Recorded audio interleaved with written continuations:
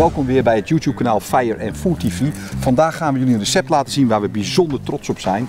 Namelijk van Peter Gast van het Schultenhuis uit Zutphen.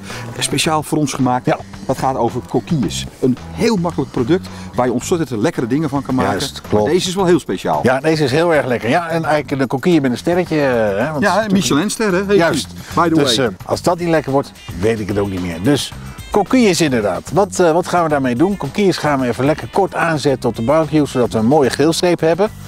Begeleiden we met een, eh, witlofje. Die witlof die snijden we in, eh, in partjes. Zo, ongeveer drie uit een eh stronkje. Beetje afhankelijk van hoe groot je witlofje is.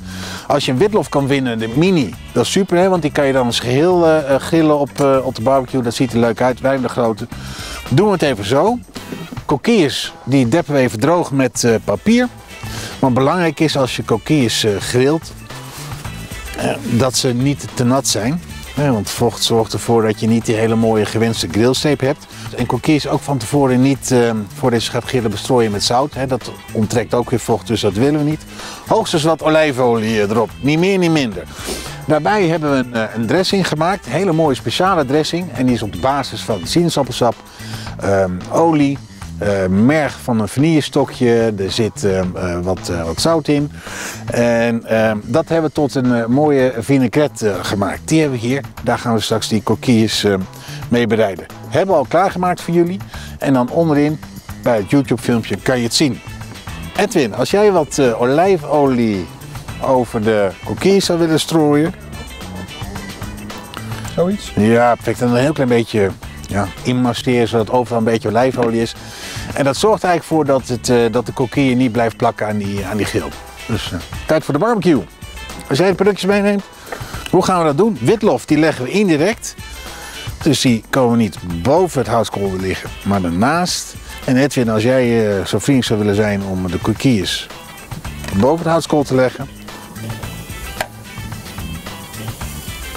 Ik ben natuurlijk vanmorgen even weer langs vis- visboer geweest, Wennekers, in Serenberg, om ze op te halen. Ja. En ehm, als ze liggen weer, dekseltje dicht. Ik denk ongeveer een minuutje, anderhalf per kant. En dan, eh, dan zijn ze klaar. Belangrijk, misschien leuk om uit te leggen bij coquille, als je die bereidt op de barbecue, is dat je hem grilt aan één kant. En dan draai je hem om. Maar je moet ervoor zorgen dat zeg maar, het midden van de coquille een beetje glazig blijft. En dan blijft hij mooi, mooi mals en sap gaan, anders wordt hij taai. Dus altijd zorgen dat dat midden mag een beetje melkachtig wit blijven. En dan eh, is coquille op zijn eh, hoogste punt. Ik eh, snap het. Yes.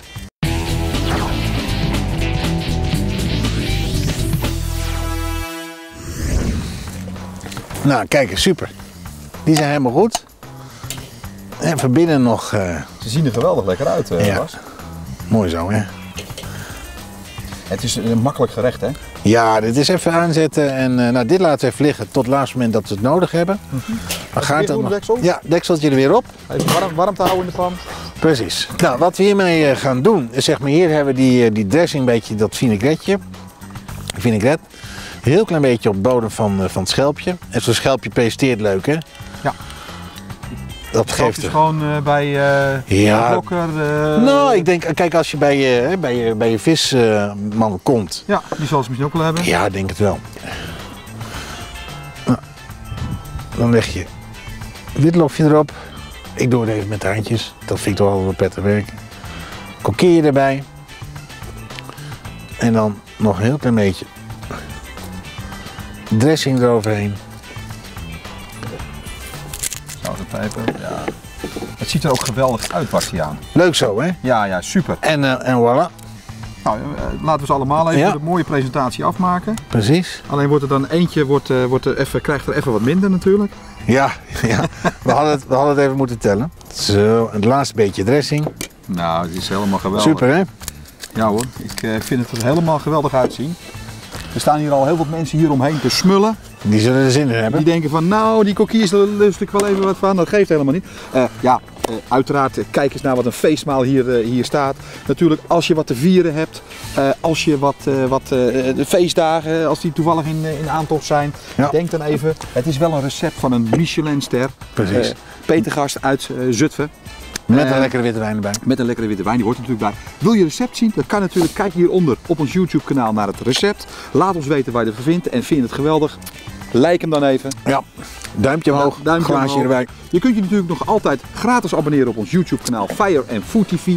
En eet smakelijk. Eet smakelijk.